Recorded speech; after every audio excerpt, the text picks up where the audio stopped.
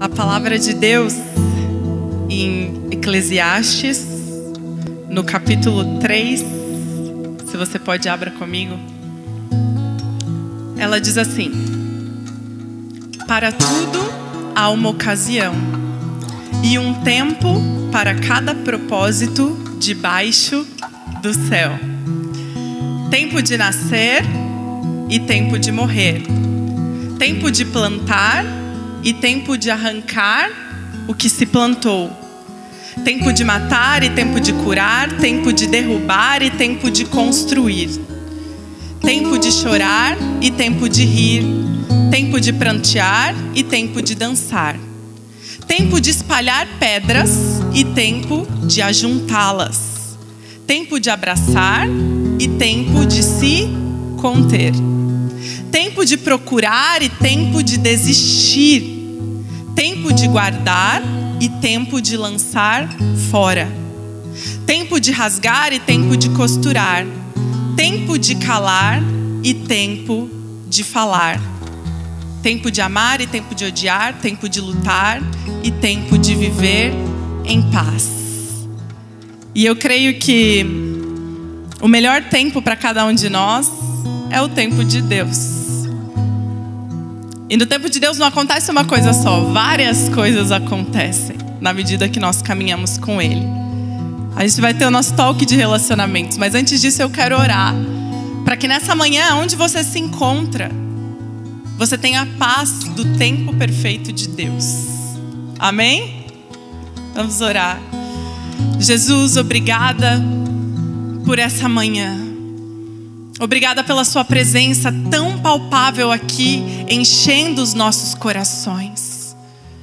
Pai, nós cremos que existe um tempo certo para cada ocasião, para cada coisa na nossa vida, na nossa história contigo. Deus, e aonde quer que cada um dos seus filhos esteja hoje, eu oro que eles sejam encontrados pelo tempo perfeito do Senhor. Em nome de Jesus. Amém e amém. Eu estou muito feliz de estar aqui hoje fazendo o nosso talk de relacionamentos. E eu queria receber os nossos convidados, nossos queridos convidados. Então eu quero convidar o Elton e a Carmen, pastor Elton e Carmen, pastora Raquel e Alex. Obrigada pelo convite e por estarem com a gente hoje. Podem se assentar aí.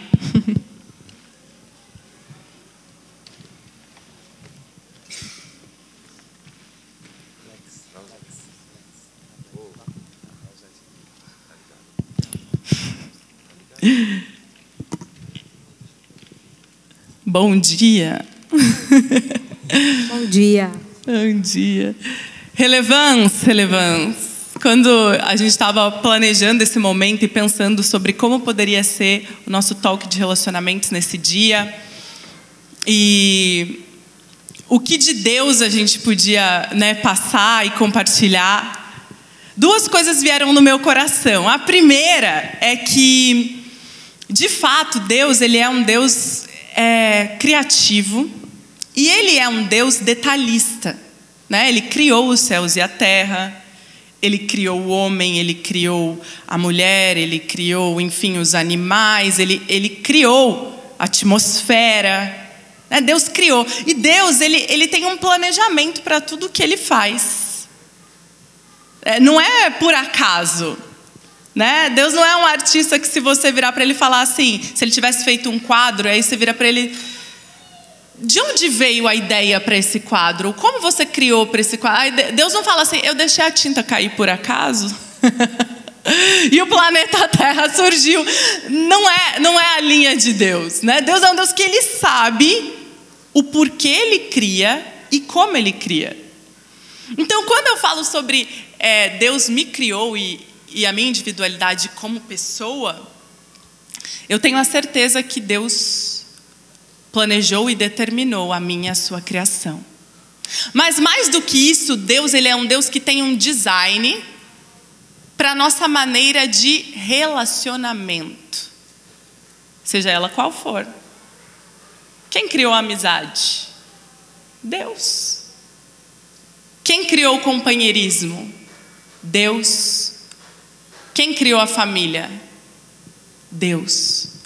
Essas relações que nós achamos que foram inventadas por nós muitas vezes, a verdade é que quando você conhece a Deus e você lê a palavra, você vai vendo que tudo tem um princípio.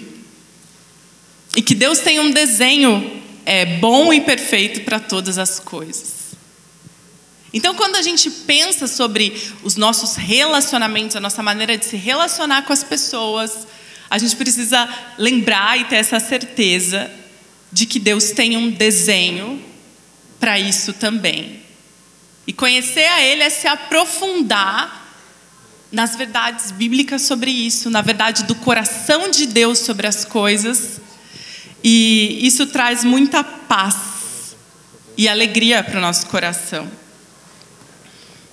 Eu hoje separei algumas frases e alguns, alguns textos bíblicos e algumas frases. As frases, elas são frases que foram postadas nas mídias sociais dos nossos convidados. Eles não sabem disso. Gente, é que eu, te, eu tinha que brifar vocês, mas nem tanto, né? Que senão ia perder a graça. Então, eles postaram algumas coisas, né, ao longo é, dos últimos anos nas mídias sociais deles, e eu usei algumas dessas frases, eu vou ver se eles se lembram, né? Se eles lembram do que eles postam e se vocês talvez conseguem identificar quem falou cada coisa, né? Isso é um, um elemento de surpresa. Eu não lembro nem que eu comi ontem. vai ser bem interessante. Então isso aí é uma coisa que a gente vai fazer juntos, né? Mas um dos textos antes da gente começar com isso que eu é, separei é o texto de 1 Coríntios 7, 8 e 9 e é quando o apóstolo Paulo ele fala um pouco sobre relacionamento.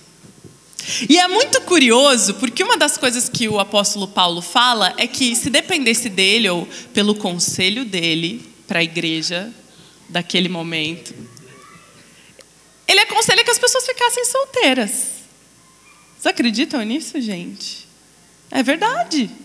O apóstolo Paulo no seu ministério, lidando com a igreja, lidando com as pessoas, conhecendo o coração, conhecendo os jovens, conhecendo os mais maduros, ele falou: O meu conselho é que vocês permaneçam solteiros. Aí ele fala: Mas eu sei que nem todo mundo é como eu. Tem uns que falaram: Ufa. Tem outros que se identificaram. Eu não sei qual é o seu contexto. Às vezes na igreja a gente esquece de falar sobre isso. E ele falou, ele falou, olha, o meu conselho para você é que vocês permaneçam solteiros, mas esse texto vai falar isso. Se você não der conta, então é melhor você se casar.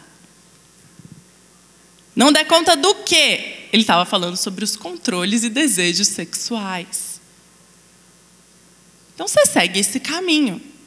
A gente sabe que Deus é um Deus que celebra o casamento e a família também. Mas por que eu já comecei falando sobre isso? Porque eu não sei a sua história. Eu não sei o seu contexto com Deus. Eu não sei para que você foi chamado. Ou o momento. Talvez você esteja vivendo sua fase eh, solteiro e você deseja se casar. Mas talvez você vai ter graça de Deus e vai viver uma vida solteiro. Deus é maior do que os meus pensamentos e do que aquilo que eu acho que você deva fazer. Tanto que o próprio apóstolo Paulo se coloca numa posição de estar aconselhando. Ele não fala, é isso que você tem que fazer. Porque ele falou, essa é a graça que Deus me deu. Como existe também a graça para se relacionar, para casar. O namoro, às vezes a gente não vê a Bíblia falando sobre namoro. Por quê? Porque o namoro é um meio, não é o fim. A Bíblia fala muito sobre casamento. Quando a gente vê casais, a gente vê é, eles normalmente ou já no momento do, do casamento ali instituído biblicamente, ou a gente vê eles no momento separado para casar, né? Maria estava noiva na nossa linguagem de José. Por quê? Porque é a fase do meio. É a fase de tomada de decisão, é a fase de escolhas. Mas não é o fim das coisas. É o processo. E aí eu quero começar com uma primeira frase de um dos nossos convidados. Vamos lá, que eu sei que vocês estão curiosos. Tá e essa frase é recente, gente. Aí eu vou ver que, se eles se manifestam, se eles descobrem de quem é e falam, é minha, tá? A frase é a seguinte: Quando eu estava solteiro, pedi para Deus, quero uma mulher para me casar que me aproxime do Senhor. bati bom. primeiro, bati primeiro. Uh, ponto, gente, dei palmas para ele que ele identificou. Vai ser. Assim que vai ser o jogo? Assim que vai ser o jogo, adorei. Eu, eu não Ganha. consigo fazer isso aí, não. Não tenho joelho para isso. não, tudo é bem. Eu, é ainda, eu ainda vou conseguir esse espaço da gente ter um, um negócio para apertar. Tem que ter umas tortas também. As tortas é, de virar a cadeira, né? Virar a cadeira. É que tá valendo um almoço, eu fiquei sabendo aí, velho. Opa, opa. Gente, é, Alex, essa frase foi sua, né? Eu foi achei minha. muito legal porque você relembrou o momento em que você estava solteiro. É verdade. e aí, pode comentar. Então, é, uma longa história curta. É, eu não nasci na igreja, então não, tenho muitos irmãos e a gente sempre curtiu sair, etc e tal. E teve um momento, né, é, que eu, é, eu lembro até hoje, estava numa balada com meu irmão no sul e a gente saiu dessa balada e já devia ser umas, sei lá, umas sete horas, oito horas da manhã. E a balada era na praia, era na Praia do Rosa. E assim, eu já tinha ouvido falar de Deus, eu já tinha ido na igreja, mas eu não queria levar Deus a sério. Né? Eu não queria compromisso. Eu achava que Deus era, era muito compromisso, era muita regra. Essa era a visão que eu tinha, porque eu olhava os meus primos dentro da igreja e falava: tudo, é tudo isso que eu não quero.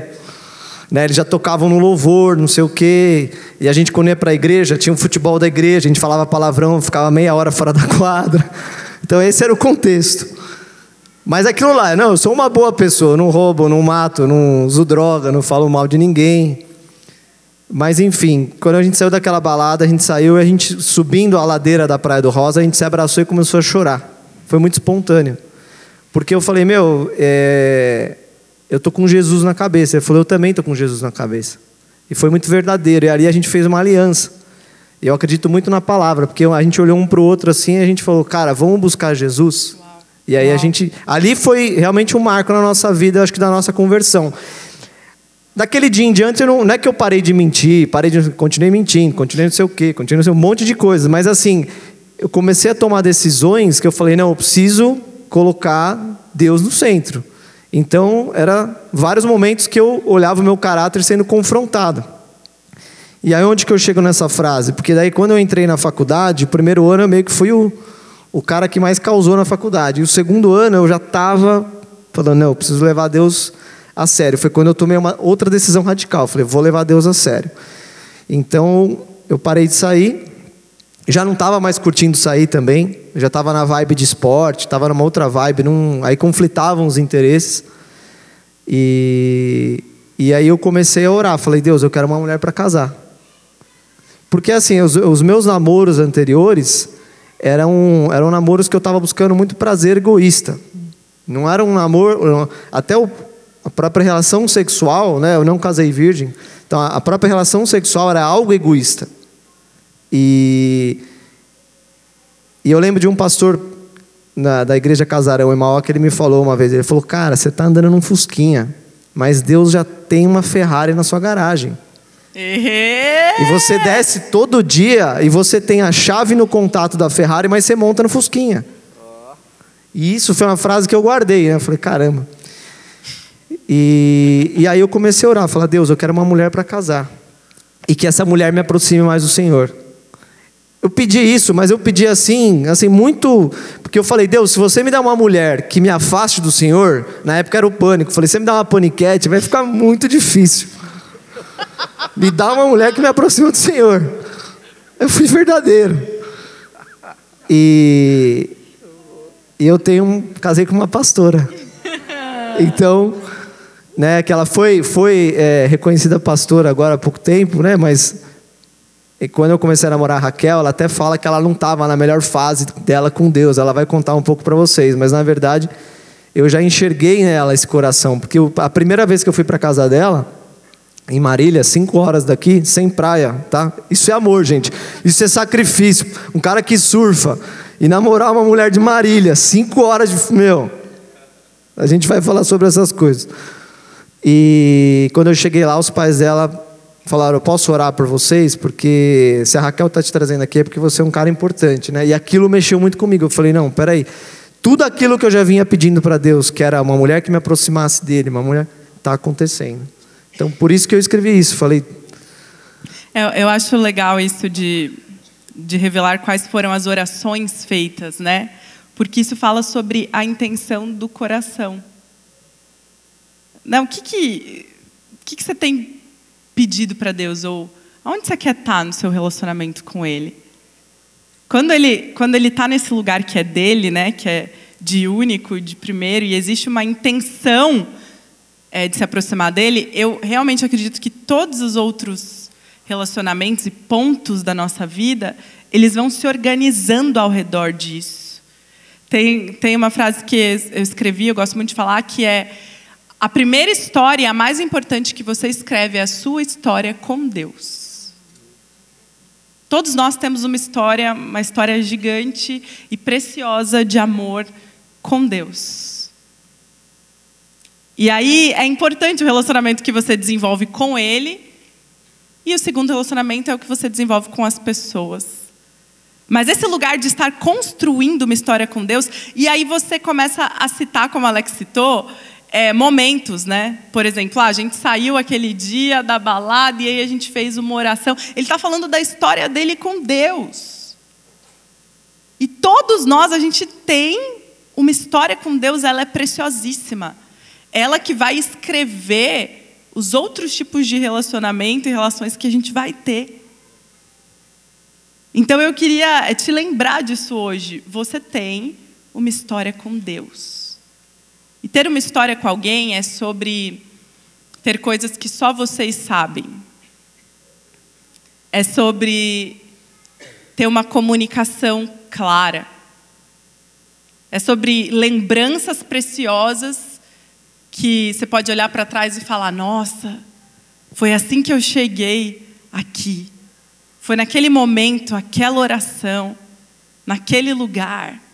É, foi engraçado você falar isso porque eu me lembrei que eu tô com isso, né? Essa semana me lembrando disso, que há uns, acho que, acho que nove anos atrás, eu fui orar uma vez num monte. Eu nem estava morando aqui no Brasil e estava nesse monte, estava orando com alguns amigos e, e, teve um momento que eu fiquei isolada assim, no momento, num lugar recluso.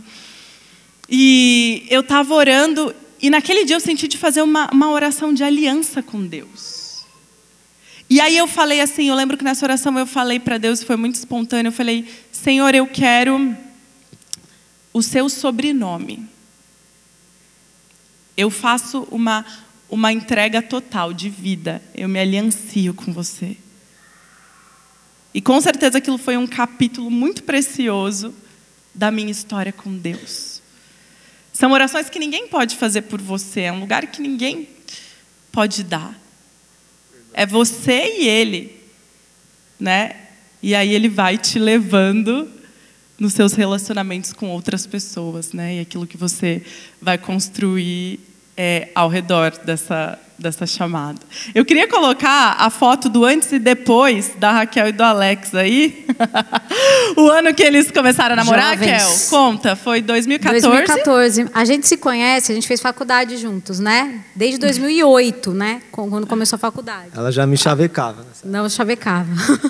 a foto da Raquel. Ah, aí. Era a Copa, gente. Era a Copa, Copa de 2014. e hoje a gente está comemorando é, oito anos juntos, porque a gente nos conhecemos na faculdade, mas começamos a namorar só em 2014. A gente se formou em 2011. Nesse período a gente perdeu o contato, né? Que era colega de faculdade, oi, oi tal, amigos em comum, mas também não tinha, a gente não se via como um interesse assim naquela época. Cada um tinha vidas muito distintas, né? E a gente começou a namorar em 2014, na Copa. Kel, voltando para a Copa de 2014, até esse momento de hoje aqui, é, eu tenho duas perguntinhas, tá? Você compartilhar. A primeira é que eu queria que você falasse assim: como é que começou? Como é que você abriu o espaço para esse relacionamento na sua vida? Então, diferentemente assim do Alex, eu estava numa fase da minha vida muito atribulada, tanto profissionalmente falando, de buscar minha identidade profissional, tanto como relacionamento. Eu tinha tido relacionamentos muito conturbados. É, e eu comecei a buscar a Deus de uma forma muito orgânica. Eu, eu venho de uma família cristã, né, tive um tempo é, enorme, toda a minha adolescência foi dentro da igreja, mas esse período de faculdade, principalmente quando eu vim para São Paulo, saí de Marília, eu me afastei de Deus, né? Eu quis viver uma vida independente dele, de tudo aquilo que eu já tinha vivido, por questões que eu estava ferida também com relação à instituição, igreja, tal. Só que eu estava tão ferida, assim, eu cheguei emocionalmente ao fundo do poço mesmo, sabe? De tantos relacionamentos atribulados que me tiravam a paz. E eu comecei a buscar Deus, eu comecei a lembrar, né? Por isso que é importante a gente ensinar a criança o caminho que deve andar, né? Tudo aquilo que meus pais me ensinaram durante toda a infância começou a retornar ao meu coração. E, eu comecei a orar, falei: "Deus, eu quero um relacionamento que me dê paz. Eu não aguento mais, sabe, viver angustiada, não aguento mais ficar chorando, não aguento mais é, ficar com esse sentimento de angústia, ficar em crise." É, eu estava vivendo tudo isso. É, e como quando eu.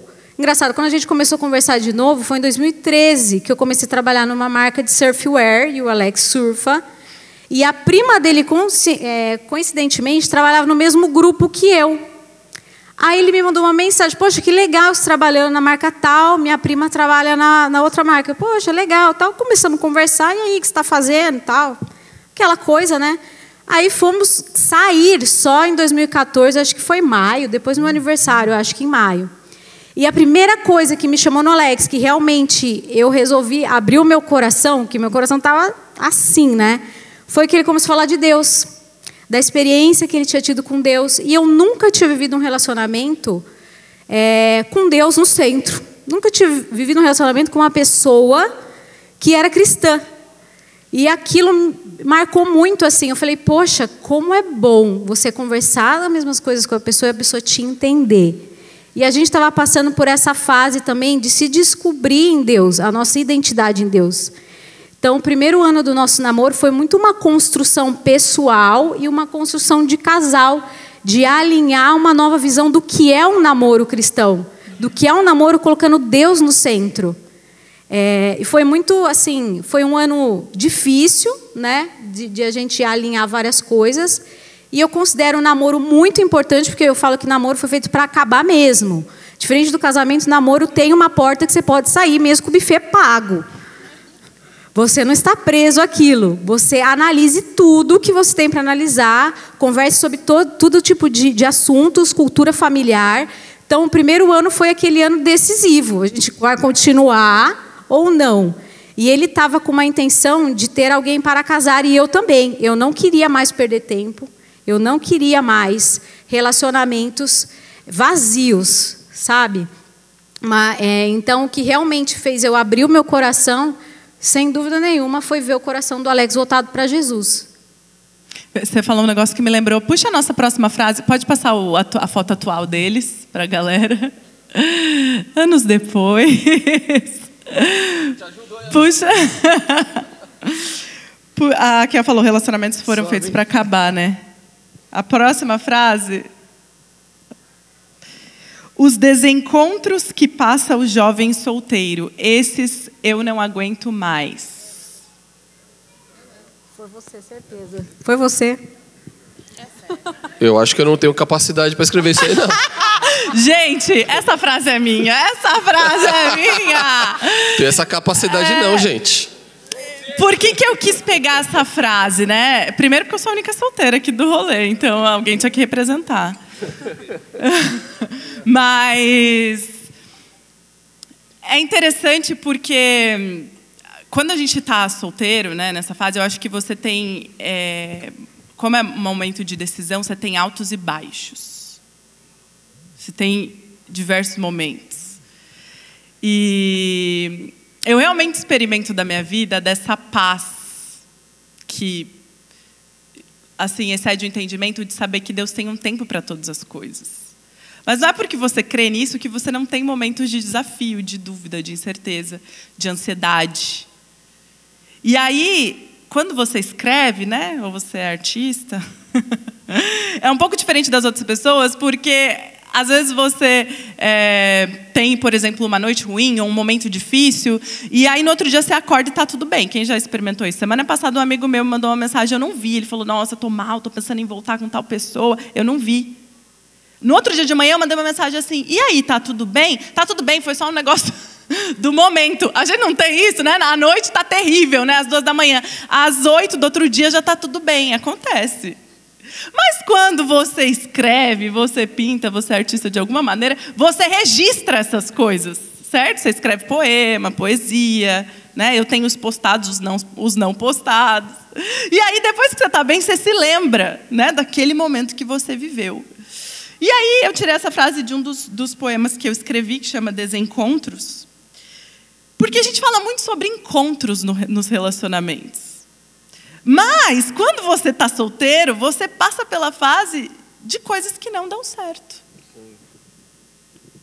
Aí, quando a Kel falou sobre término, né, foi feito para terminar, eu, eu comecei a escrever e depois, depois desse poema fica alegre, tá? Mas, assim, eu acho uma resposta no fim dele. Mas o que eu concluo é que, às vezes, para você encontrar aquilo que é, você precisa abrir mão do que não é. Sabe? E existe na nossa vida um medo muito grande é, de perder alguma coisa às vezes, ou de ficar sozinho. E o medo de ficar só, o medo de perder, pode te fazer é, se privar de viver o melhor de Deus para a sua vida e para a sua caminhada. Então, é, eu acho que a gente precisa pensar né, e, e, refletir sobre isso e deixar essa verdade entrar no nosso coração, que fins de relacionamento muitas vezes são parte do processo que virá no futuro. Né? E aí, Kel, voltando, voltando para você, eu queria é, só que você compartilhasse com a gente o que, que você acha assim importante nisso, de você avaliar quando você está num no relacionamento, no meio do caminho. Uhum. Eu vi até uma foto ontem do John Depp com a ex-esposa.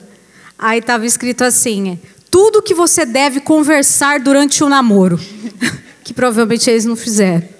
Mas como eu falei, namoro é o meio, como você falou, e é um momento de pesquisa e observação, né? Então, para mim, o primeiro ponto é ver os princípios e valores da pessoa, sem dúvida nenhuma. Não arrume para sua cabeça, porque vai dar beola na frente. Pense que o casamento potencializa tudo do namoro. Então, veja se você consegue conviver com os defeitos da pessoa, porque qualidade é fácil conviver. Defeitos do tipo, a pessoa é atrasada, a pessoa é, ela deixa, sei lá, tudo bagunçado, né? Tem tipo. Você consegue conviver com aquilo? Ou aquele é um super big deal para você, é, que no casamento com certeza vai piorar isso, né? Vai potencializar mais ainda. Converse sobre cultura familiar, como que é a cultura da pessoa, como que ela foi criada. Eu vim, eu sou filha única. O Alex tem quatro irmãos. É, são culturas completamente diferentes de, que a gente foi criado. E isso no casamento você também vai enfrentar conflitos sobre isso, do meu jeito, do seu jeito. Converse sobre as expectativas financeiras da pessoa. Sobre filhos. Quantos filhos você quer ter? O homem quer ter dois filhos, a mulher não quer ter filho. E aí? Você tem que meio que ranquear suas prioridades, sabe? Saber exatamente realmente o que, que você quer, o que, que você espera daquilo. E tem muita gente que namora achando que já está no casamento, né? Namoro não é casamento. Então, namoro não tem que ficar dividindo conta conjunta, por exemplo. O dinheiro da pessoa, o dinheiro da pessoa, o dinheiro da outra pessoa, o dinheiro da outra pessoa. As, as agendas ainda não são agendas que estão unidas. Tem gente que, não, você não vai naquele lugar, não sei o que. Tem gente que faz uma proibição. Calma, você ainda não está no casamento. Saiba viver as fases. Você está namorando, você está naquele momento que você está pesquisando, você está observando, construindo junto. Claro que o objetivo do namoro é o casamento, né? Mas pode acontecer muitas coisas, sabe? É isso que a, a, a Lê falou de medos, né? Você tem medo às vezes de ficar sozinho, você aceita coisas por esse medo. Isso não é saudável dentro do namoro. E uma coisa importante também é a questão de o corpo de um não pertence ao outro, né? De você respeitar o corpo do, do, do seu namorado e da sua namorada, porque a lógica bíblica é de moralidade sexual. Né? O, que, que, o que, que a Bíblia fala? Que o nosso corpo pertence a Deus.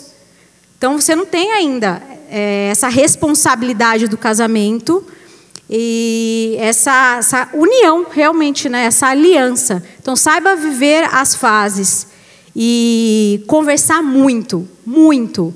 Realmente se abra, sabe? Olha, olha, eu sou assim, eu fui criado desse jeito. Seja sincero.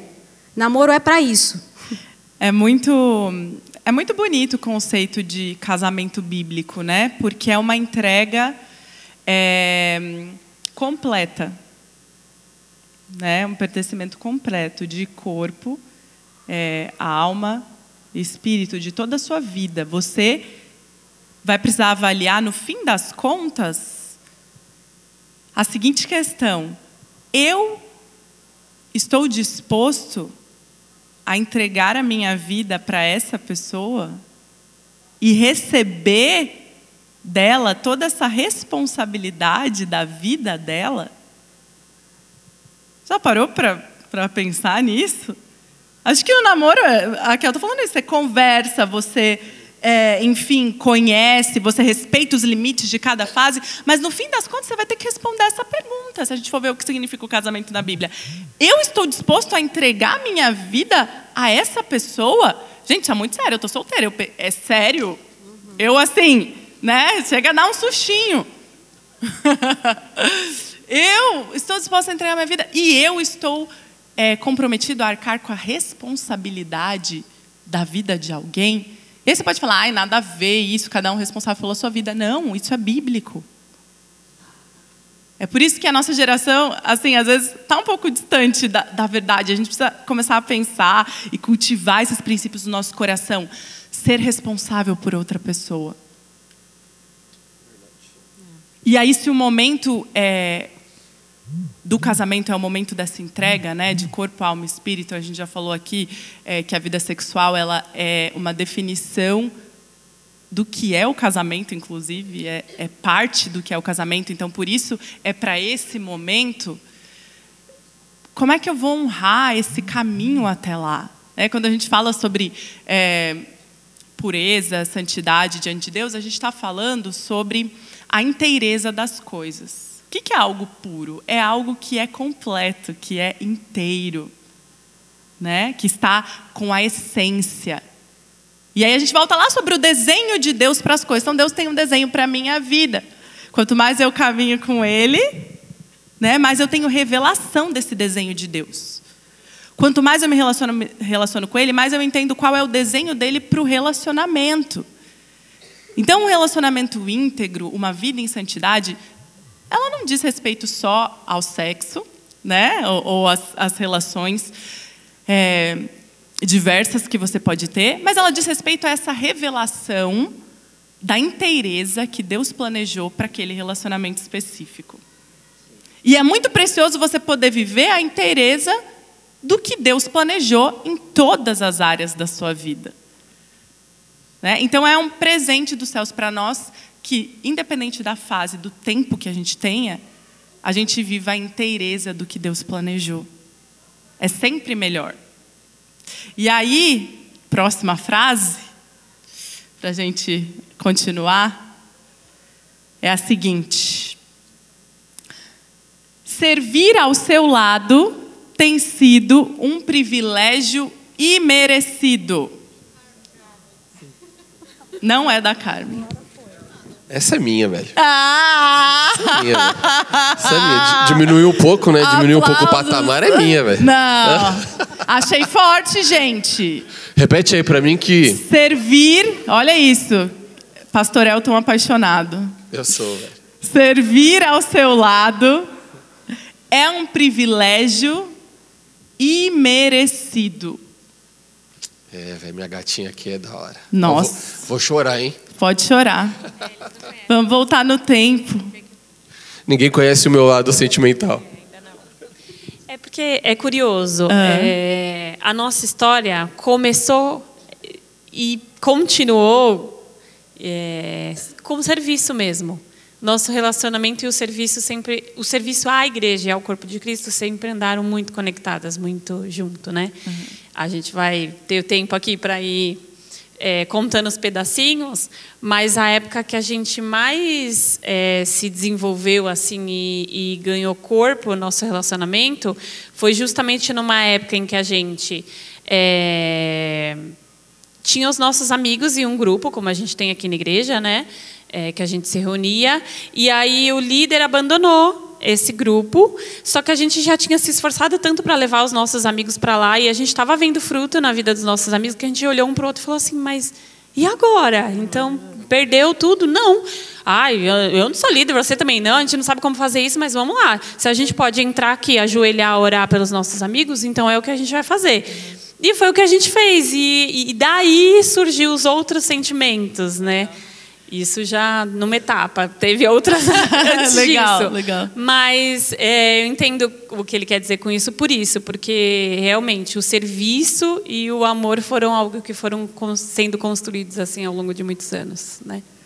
É, eu, eu vejo mesmo muito isso em vocês, dessa parceria no propósito. Né? Foi, de- foi desde o começo isso, né? Foi muito louco porque é, eu sempre vi a Carmen, o jeito que ela entrou na minha vida, eu sempre vi um presente, sabe? Para me completar é, em Deus. Então, esse serviço foi bem antes da gente começar a se gostar. Né? Então, a gente foi muito amigo antes né, de, de ter uma relação um com o outro. A gente ficou muito amigo. E aí tem toda uma história que eu acho que depois você vai é, perguntar. Eu vou, vou perguntar agora já. Você, assim, teve o seu encontro com Jesus com quantos anos? Eu tive meu encontro com 18 anos. Com 18 anos. 18 anos. O que que eu queria que você falasse um pouco dessa tua trajetória assim do Elton antes e no momento que ele encontrou Jesus. O que, que foi importante para você? Até falando sobre essa vida de relacionamentos e Tá. aquilo que você vivia e o que você passou a entender. Tá. Eu, antes de Jesus, era um cretino, velho. era um safado. Brincando. É... Brincando, mas, mas é verdade esse bilhete. Bonitinho, mas ordinário. É, é, eu sempre tive um pai muito presente. Né? Meu pai sempre me acompanhou em tudo, na minha adolescência e tal. E só que meu pai não era cristão, né? A gente não era cristão. E eu sempre fui um cara que nunca me envolvi com bebida, com droga, porque meu pai sempre estava presente, sempre estava me cercando, sempre estava ali me aconselhando, enchendo meu saco e tal. Porém, meu pai nunca me deu algumas instruções sobre mulher, sobre namoro. Porque eu acho que ele olhava e falava: ah, meu filho vai bem nessa área, né? Então ele me deixou livre, leve e solto. E aí foi meu grande problema. Porque em toda a minha adolescência, o meu problema era mulher, né? E aí que vem o safato cretino e, e tudo mais, né? É, e aí, o padrão do mundo. E aí eu vim nessa construção. Então, quando eu estava lá no terceiro colegial, no topo, indo para a faculdade, eu comecei a viver a- as experiências mais fortes em relacionamento. Então, eu sempre fui um cara que namorou muito, mas meus namoros não duravam. Eu era tão cretino, vou me expor aqui, tá bom? Posso me expor aqui? Todos nós. Teve uma vez que eu namorei três meninas ao mesmo tempo. Você acha que isso ia durar? Não ia, porque em algum momento eu ia errar, né? E eu errei. Eu troquei o nome delas. E aí, dentro disso, é, a minha vida era muito vazia, porque eu tentava preencher ela com relacionamentos. Então eu vim num- com muitos namoros e aí onde Jesus me encontrou, porque nessa época quando eu estava indo para a faculdade no auge, meus amigos me inventaram de começar a me levar para o interior de São Paulo. E nessa época eu namorava. E nessa época minha mãe se converteu. E aí eu era muito assim, com a minha namorada eu tratava ela como rainha. Então algumas coisas eu não invadia ela tal. Mas quando eu deixava ela em casa, eu saía com meus camaradas para balada para pegar outras. Porque eu falava, ah, o que eu não vou fazer com ela, eu faço com a outra. Preserva a minha. Mas isso é uma enganação, né? Porque do mesmo tempo que eu traía minha namorada, ela também me traía. Né? Então era um ciclo. E aí eu lembro que nessa época eu, eu, o pessoal começou a me levar para o interior, minha mãe convertida, e aí meu pai me obrigava a todo domingo de manhã ir para a igreja. Então eu, eu frequentei uma igreja evangélica mais ou menos uns três anos, dos, 16, dos 15 aos 18, só frequentando. Então eu entrava todo domingo de manhã, assistia o culto obrigado e saía. E nunca ninguém me falou nem oi dentro da igreja, durante três anos. Porque eu voltava da balada às seis horas da manhã, meu pai me pegava pelos cabelos e falava: Você vai para a igreja comigo. Me colocava no carro e vinha. e eu dormia. Então eu fiquei nisso. E eu lembro que dentro dessa trajetória eu via a Carmen. Lembro até hoje. Olha só, olha o coração como era. Eu via ela passando. Lá tinha um auditório, né? Então eu via ela passando assim para o auditório. Eu lembro, Olivão, que eu bati o olho na loirinha, fiz assim: Ó, oh, isso aí eu pegava, hein? Esse era o pensamento, eu namorava. E aí, nessas indas e vindas para o interior, eu, a, a, a, minha namorada atual descobriu, terminou o namoro, e aí eu entrei na decadência, e aí eu me joguei no mundo fortemente. Foi aí que teve um acampamento na igreja e minha mãe me escreveu no acampamento da igreja. E falou: não, você vai para o acampamento. E aí, assim, não vou dar detalhe, que senão vou alongar, mas daí foi uma briga, uma brigalhada tal, e fui para o acampamento da igreja, aonde eu odiei. Foi tudo ruim naquele acampamento. Só que o Espírito Santo me pegou lá. Me pegou quando o pastor pregou sobre consagração. E aí isso mexeu muito comigo, porque eu não era consagrado a Deus, a Deus. E eu lembro que eu sempre fui muito intenso, né? Muito intenso antes de me converter para o mal. E aí eu lembro que quando eu aceitei Jesus, eu fiz uma oração dizendo para Deus que eu seria intenso para Ele também. Amém. Né? E aí foi onde reverteu e aí começou a entrar muito forte o serviço. Porque nessa época que eu me converti, eu participei de todos os ministérios possíveis da igreja. Eu estava envolvido em 12 ministérios dentro da igreja. Até dançar eu dançava. Não procurem no YouTube. Eu quero ver essa aí, velho. Foi no telão essa aí. É, é, cada um ministério. Eu, eu achei muito, muito chave quando você contou esse momento onde você falou assim, ó, a minha namorada eu preservava de certa forma, mas aí com outras pessoas eu fazia isso. E isso fala sobre uma coisa que pra gente é presente, que é a aparência, né? Sim. Porque com aquela às vezes a gente pensa que é tá relacionado a outro, ao que outro está vendo. Então você, você fala assim, não, essa pessoa eu vou poupá-la. Às vezes é a sociedade ou a igreja, tipo, não, essas pessoas elas não vão saber disso que acontece é, no oculto. Mas a verdade é que o coração de amor de Deus, ele, ele se importa com você. Exato. Igual o Alton comentou, mas era um vazio que eu tinha. Então não é sobre é, o que o outro está vendo ou o que está aparente mas é sobre aquilo que Deus está fazendo no seu coração e na sua vida. Que vai ser a tua maneira de criar raízes profundas para é, viver e para construir uma família. E, e, e dentro disso foi muito forte porque a transformação comigo ela não foi gradativa, né? ela foi instantânea. O tempo que eu aceitei Jesus, a minha vida mudou. Eu não sentia mais vontade de fazer tudo que era ruim, eu já não fazia, já não falava palavrão. Foi algo muito espiritual, sabe? Pum, de um dia para o outro, eu já não conseguia mais fazer o que eu fazia antes. E aí, e aí por isso que eu escrevi aquela frase, porque daí quando eu me converti, e aí tem muito a ver com o que você estava falando, eu fiquei tão apaixonado por Jesus, tão apaixonado por Jesus, e tão ferido, eu estava tão destruído né, por todos os relacionamentos que eu tive, que eu orava como Paulo orou, como, como, a, como a falou aqui. Eu lembro que eu ajoelhava e falava: Pai, só com teu, o teu amor me basta. Lembro isso que eu falava, isso, o teu amor me basta. Eu não quero mais ter relacionamento nenhum.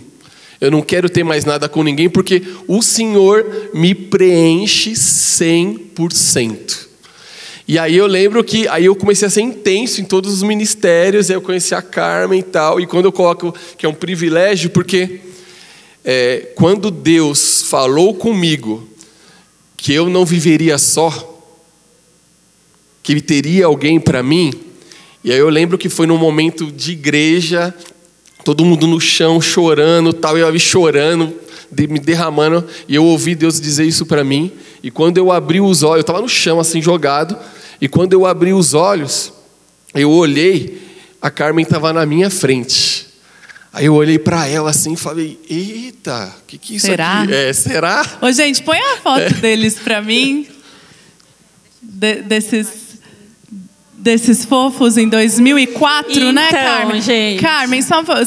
Enquanto ele vivia tudo isso, eu estava lá na escola dominical, fazendo uma listinha de como eu queria que o homem de Deus fosse para minha vida.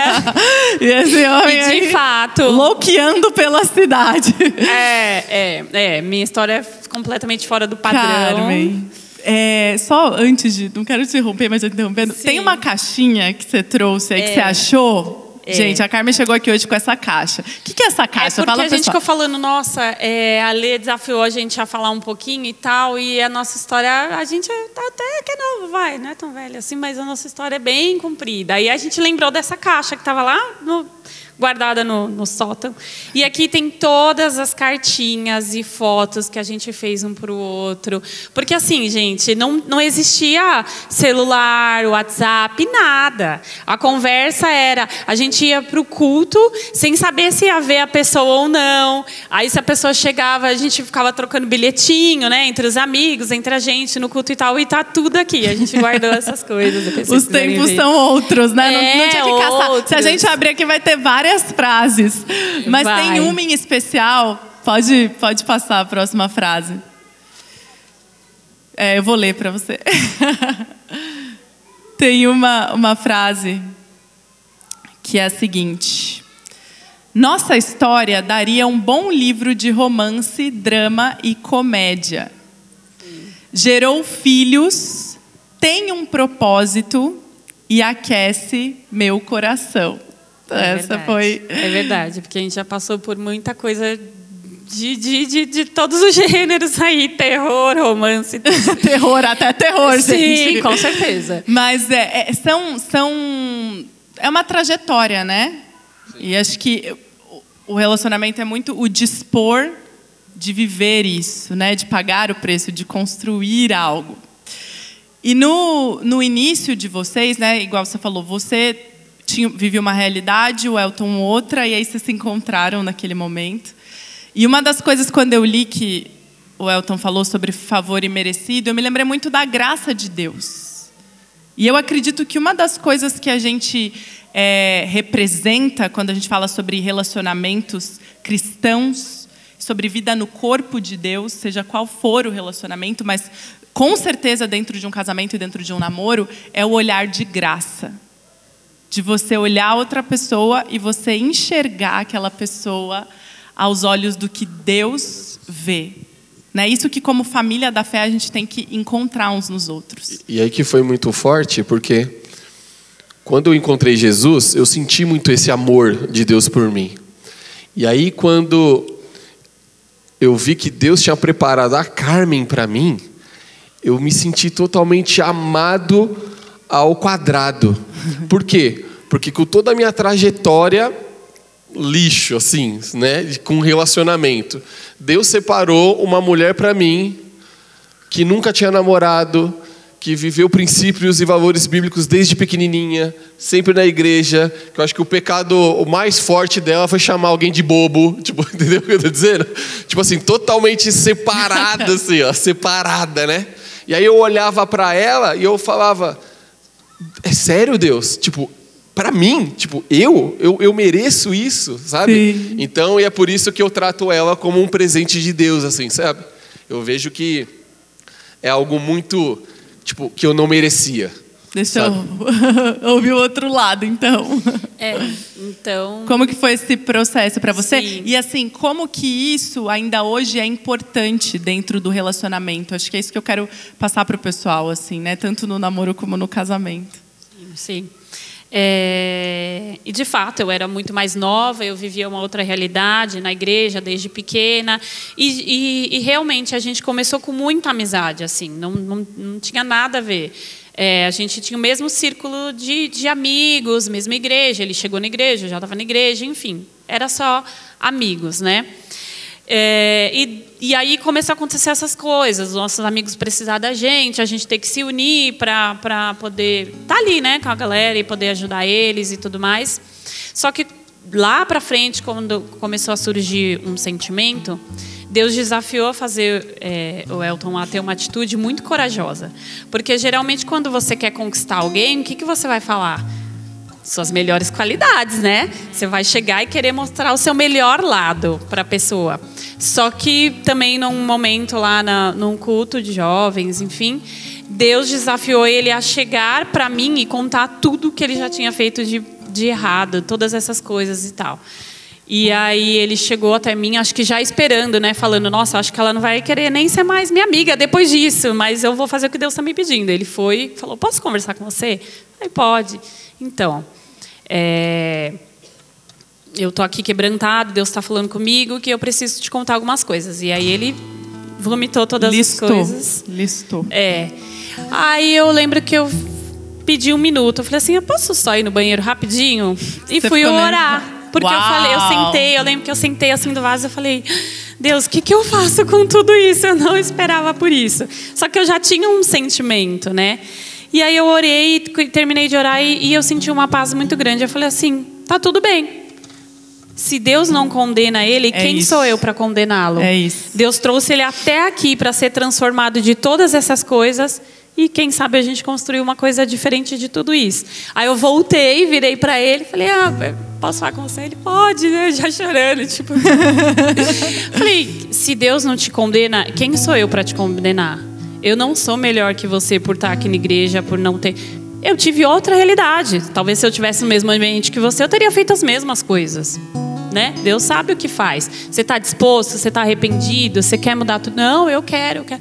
Então vamos caminhar junto, vamos ver aí o que Deus vai fazer. E Deus transformou. Foi muito lindo ver Deus transformando cada área da vida dele Obrigada. e poder estar do lado dele, ajudando. É, 15 Obrigada. anos. 15 anos de. Põe a foto do, do atual deles, por favor. E a né? gente teve essa questão da minha idade também. Deus, Deus, às vezes eu fico pensando, né? Eu falo, nossa, por que, que eu tive que encontrar ele tão cedo, né? Na hora parecia assim uma punição, mas não foi. Porque diferente das pessoas que geralmente encontram o amor da vida mais tarde, eu tinha 13 anos de idade, eu era muito nova. E aí eu não poderia namorar, não poderia fazer nada. A gente não descobriu um sentimento e não poderia fazer nada com Sim. aquele sentimento. Mas foi muito importante isso porque a gente foi levado ao caminho da obediência. Porque a gente teve que, mesmo com sentimento, aí durante três, quatro anos eu ser mais velha, a gente, né? Ele foi importante para ele se desprender de toda essa cultura, esses valores, Deus transformar, para daí lá para os 16, 17 anos a gente de fato conversar e conversar com os nossos pais e a nossa liderança nos entender e permitir e aí a gente começar e, e também como a Raquel falou é, eu não tinha experiência nenhuma e ele só tinha a experiência que era oposta, Oposta. à bíblica então a gente também teve que construir isso de tipo nossa então como é que é vamos aqui lendo orando com- e recomeçando e construindo isso É, é lindo que Deus ele é um Deus de recomeço. Deus ele é um Deus de novas histórias, né? E ele tem um amor gigante por nós. O Elton me perguntou qual a expectativa para esse culto. Eu falei que a alegria de Deus enche o nosso, nosso coração e que a revelação dele enche a nossa vida. A gente vai ter que encerrar nossa conversa aqui, infelizmente. Mas essa frase que a Carmen falou ficou no meu coração. Ela, ela falou: se eu, se Deus não te condena, quem sou eu para fazer isso? Talvez você ouviu essa nossa conversa aqui e expectativas foram geradas no seu coração. Talvez a vontade de fazer diferente do que você tem feito até aqui. E eu quero te dizer que existe graça de Deus para que você viva isso. Deus ele é um Deus que ele não expõe a gente a uma realidade que ele não possa nos dar condições de viver essa realidade. E eu creio nisso. Então a gente quer orar é, por você nessa manhã. Eu vou pedir para um casal, quem sentir, é, orar pelos casais e para outro orar pelos solteiros. Para propósito de Deus e para que a gente possa honrar Deus com a nossa vida e ser cheio do amor dele, independente do tempo e ocasião em que você se encontra nessa manhã. Amém? Se você pode, né, pode abaixar sua cabeça, fechar seus olhos, estender suas mãos para o Senhor. Nós vamos orar. Oh Espírito Santo de Deus. Oh Pai, aqui, Senhor, nós apresentamos, oh, Pai, todos os solteiros que estão aqui hoje, Senhor. Pai, eu sei o quanto cada história para o Senhor é importante. Eu sei, ó oh, Pai, que às vezes até neste momento, talvez a, a nossa história, as nossas decisões, tem ido para um lugar no qual não é a tua vontade. Mas aqui nesta manhã, Senhor, nós queremos entregar, nós queremos orar. Nós sabemos, ó Pai, que assim como o Senhor fez na minha vida, Senhor, o Senhor pode fazer aqui também. Pai, então venha derramar, Senhor. Venha derramar, ó Pai, o teu amor, o teu amor, Senhor, sobre esses corações. Ó Pai, trazendo, Senhor, paz, trazendo sabedoria Ó Pai, que todos os solteiros aqui, Senhor, possam aproveitar este momento que eles estão vivendo. Ó Pai, que eles possam, Senhor, se conectar, ó Pai, ao máximo às pessoas. Que eles possam, Senhor, frutificar neste tempo. Ó Pai, porque ser solteiro, ó Pai, não é algo ruim, é algo bom. Nós entendemos, ó Pai, que é uma etapa no qual o Senhor faz nós amadurecermos, faz nós conquistarmos coisas, faz nós avançarmos em, em situações, em áreas da nossa vida, Senhor. Por isso eu te peço no nome de Jesus, no nome de Jesus, que o Senhor possa trazer paz, que o Senhor possa trazer direcionamento, Senhor, que o Senhor possa trazer, ó Pai, santidade, ó Pai, que o Senhor possa trazer, ó Pai, uma paixão por Ti, Senhor, ainda maior, Senhor, porque a Tua palavra nos diz que quando nós cuidamos das Tuas coisas, o Senhor cuida das nossas, e seja assim na vida deles, em nome de Jesus, no nome de Jesus. Senhor, eu te peço pela vida dos casais, Pai. Deus, que o Senhor renove a paixão, Deus. Que o Senhor renove a aliança que foi feita, Deus. Que é tão prejudicada, Pai. Traz de novo, Deus, aquela paixão, Deus. Aquela paixão, Deus, onde nós cruzávamos São Paulo, onde nós cruzávamos um estado, onde nós pegávamos um avião, Deus e tínhamos o frio na barriga de estar juntos, Pai. E se isso se perdeu, Pai, eu peço que o Senhor renove agora, Pai. E Deus, todas as brechas nos casamentos, Pai, sejam fechadas, Senhor. Porque o Senhor tem bênçãos, Deus. O Senhor tem vida, Pai. O Senhor tem família. O Senhor tem bens geracionais, Pai. O Senhor tem filhos e filhas, Senhor, sendo gerados através dessas famílias, Pai. O Senhor tem um modelo, Papai, de família, Senhor. Então, Deus, eu oro agora contra Deus todo espírito que quer, Deus, trazer separação, divórcio, todo espírito de confusão, Deus, que atua, Deus, nas nossas mentes, Deus. Pai, nós temos que ter humildade, Deus de entender que nós sim somos, Deus, atacados em pensamentos, Pai, mas que esses pensamentos, Deus, podem ser removidos, Pai, porque nós escolhemos, nós selecionamos aquilo que vai criar raiz na nossa mente. Nós escolhemos aquilo que vai criar raiz no nosso coração. Então agora, em autoridade do seu nome, eu lanço fora, Deus, todos os pensamentos que vão contra o casamento. E Deus, que tudo aquilo que o Senhor tem para os casais, Pai, venham agora criar raiz, Jesus, gerar fruto, Pai. E que essa seja uma igreja conhecida, Deus, que casa pessoas e que casamentos perduram, Pai. E não uma igreja que casa, que gera divórcio, Senhor. Eu repreendo agora todo divórcio, Senhor. Todo casal que dorme com briga, Deus. Agora, Deus, que o tempo de resposta, Deus, que é um dia inteiro de nariz torcido, agora seja reduzido para cinco segundos, Deus, aonde nós vamos ter a humildade de pedir perdão. Nós não vamos esper esperar o outro, Deus, pedir perdão, mas nós vamos ter a iniciativa de pedir perdão, Deus, em nome de Jesus. Jesus, eu quero orar agora por coragem e ousadia para aqueles que precisam, Deus, terminar um relacionamento, para aqueles que precisam colocar a casa em ordem.